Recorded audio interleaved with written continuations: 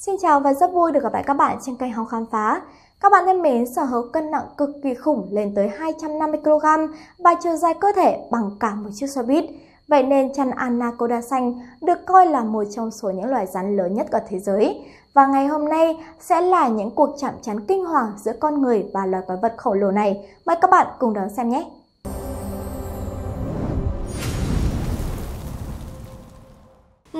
Lạnh gáy cảnh thợ lặn đối mặt chăn anaconda xanh dài 7 mét. Một thợ lặn đã ghi lại được khoảnh khắc đáng sợ khi ông bơi cùng loài chăn lớn nhất thế giới, một con anaconda xanh dưới đáy sông. Từ Daily Mail của Anh đưa tin, ông Bartolomeo Bov là một nhiếp ảnh gia dưới nước chuyên nghiệp. Trong chuyến lặn sông Formoso ở thành phố Bonito, Brazil hồi tháng 7, ông Bov đã chạm mặt với một con chăn khổng lồ dài 7 mét và nặng 90 kg. Người thợ lặn dũng cảm này lập tức chấp lấy cơ hội để quay được những thước phim chân thực nhất về loài bò sát to lớn này. Đôi lúc, đôi mắt sáng như màu lửa của con vật nhìn thẳng vào ống kính, chiếc lưỡi mảnh đáng sợ của nó thò ra thụt vào liên tục. Con chân to lớn tỏ ra tò mò trước sự xuất hiện của ông Bob cùng chiếc máy quay. Sau khi thử tiến sát vào máy quay, nó đã tỏ ý muốn bỏ đi, bơi tránh xa người nhiếp ảnh ra. Ông Bob tiết lộ, ở Nam Mỹ chỉ có thể tìm thấy loài chăn anaconda ở các sông vùng Bonito. Chúng bắt đầu thức dậy sau kỳ ngủ đông từ khoảng cuối tháng 7 và đầu tháng 8. Chăn anaconda là loài rắn lớn nhất thế giới. Chúng có thể dài đến 9 mét, nặng đến 250 kg. Anaconda giết chết con mồi bằng cách cuốn tròn quanh con vật và sau đó siết lại cho đến khi con mồi ngạt thở. 2. Hoàng hồn đụng độ tràn khủng Anaconda trên sông Amazon Đoạn video ngắn được ghi lại bởi một nữ du khách trong chuyến tham quan sông Amazon, Brazil bằng thuyền gỗ. Đoàn thuyền trong lúc vượt sông bất ngờ đụng phải một con chan khổng lồ đang ngụp lặn giữa dòng nước. Nữ du khách hoảng sợ hét toáng lên khi trông thấy con chan, nhưng những du khách nam lại vô cùng thích thú, quyết đuổi theo con quái thú. Một người đàn ông thậm chí còn thò tay xuống kéo đuôi con vật lên. Sau đó, con chăn vội vàng rời khỏi bờ và bơi nhanh ra lòng sông. Tuy nhiên, gia đình nhà Oliveira quyết định không buông tha và họ vẫn bám theo con chăn khủng. Bentinho cầm đuôi con chăn lên và loài bò sát lớn nhất hành tinh cuộn người liên tục để mong thoát khỏi bàn tay của người đàn ông. Con chăn Anaconda có vẻ đã ăn no nên bụng to và không thể di chuyển nhanh nhẹn. Kẻ xấu số nằm trong bụng con chăn cũng chẳng phải dạng vừa với kích thước tương đương với một con báo gấm. Con chăn no bụng không hề có ý định tấn công con người, cố gắng bỏ đi. Tuy nhiên, do bị quẫy nhiễu quá lâu, con vật hung hăng quay lại đe dọa. Năm thuyền viên lúc này mới chịu buông để con vật bơi đi. Chăn anaconda là một chi rắn khổng lồ, sống ở lưu vực sông Amazon Nam Mỹ. Chúng sống dưới nước hoặc ẩn náu trong các đầm lầy, các con sông và các cánh rừng rậm của khu vực Nam Mỹ. Con trưởng thành có thể dài tới 9 mét và nặng 250 kg. Kích thước ngoại cỡ của chúng chỉ có thể thua kém một chút so với người anh em trong các loài bò sát, đó là giống chăn gấm châu Á. Loài chăn này có chiều dài lớn nhất trong các sinh vật họ rắn, con trưởng thành có thể lên đến gần 10 mét. 3. Thót tim màn giải cứu chó bị chăn khổng lồ siết chặt những hình ảnh đầu của đoạn video này cho thấy con chó đang bị một con chăn khổng lồ quấn chặt ở dưới nước. Theo Andrew Barrow, người đã đăng tải đoạn video này lên mạng, sau khi nhìn thấy con chó biến mất ở trang trại, mọi người đi tìm thì thấy nó có nguy cơ trở thành bữa ăn chiều của một con chăn khổng lồ. Những người dân làng nhanh chóng tìm cách giải cứu chú chó, lúc nó gần như đã sắp bị giết chết. Một người nắm lấy đuôi con chăn và sau khi được sự hỗ trợ của hai người khác, họ cùng kéo con chăn lên bờ. Khi con chăn được kéo lên khỏi mặt nước, có thể nhìn thấy rõ nó vẫn đang quấn, siết chặt đầu con chó. Những người dân tìm cách lắc mạnh thân con chăn, rồi một người tìm cách gỡ chó ra nhưng không ăn thua. Họ phải dùng biện pháp mạnh hơn là dùng gậy đánh mạnh vào con chăn và chỉ khi ấy nó mới chịu nhả con mồi ra. Rất may, con chó không hề hấn gì.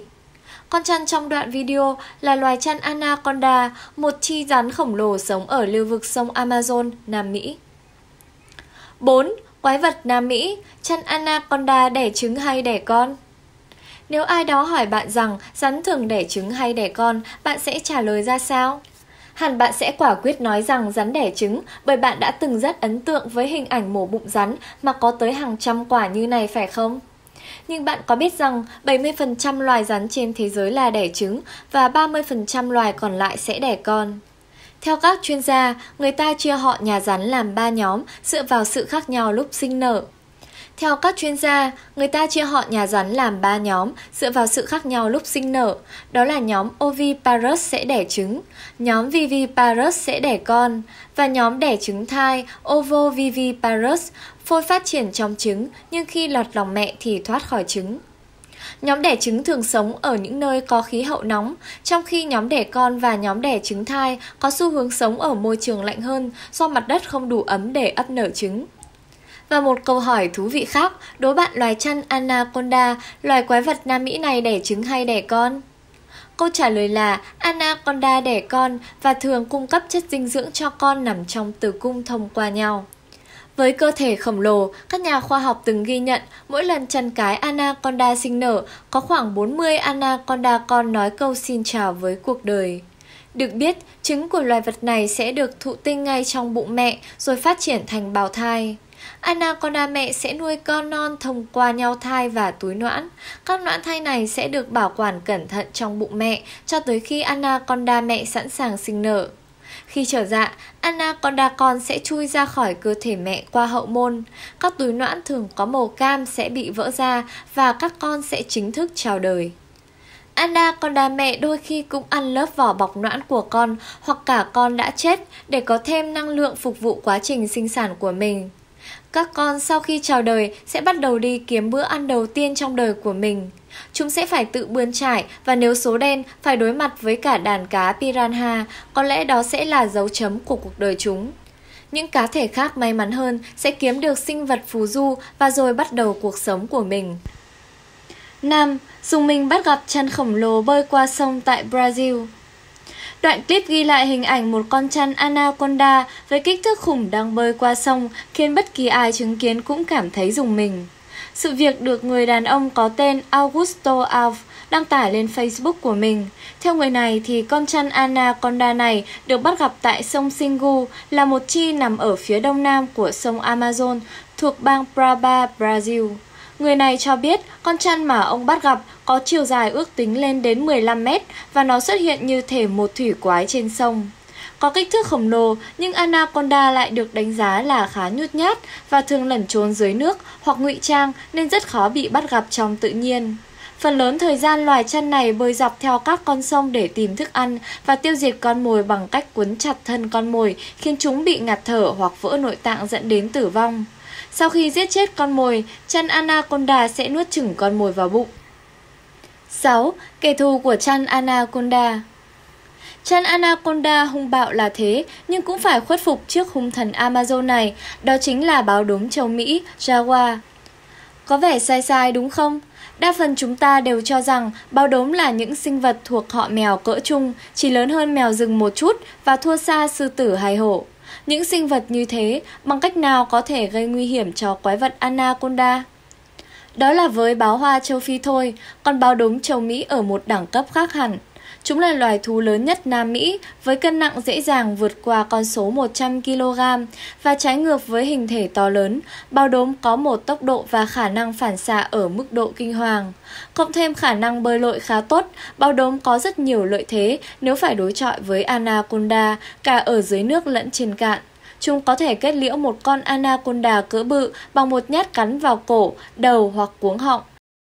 Dành cho những ai chưa biết, bao đốm có lực cắn mạnh nhất trong họ nhà mèo, lên đến gần một tấn. Tuy nhiên, nếu bảo Anaconda yếu thế hơn thì hoàn toàn không phải. Trong tự nhiên, hai loài này được mặc định đặt vào danh sách là con mồi của nhau. Nếu bao đốm có thể giết chết Anaconda, thì con chăn quái vật ấy cũng có thể siết và nuốt trọn một con báo đốm xấu số. Vấn đề chỉ là thời điểm và khả năng đấu tranh sinh tồn của hai loài mà thôi. Chúng mình là Hồng Khám Phá. Nếu như các bạn cảm thấy những thông tin trên là hữu ích, vậy thì đừng quên like, subscribe kênh của chúng mình nhé. Còn bây giờ, xin chào và hẹn gặp lại.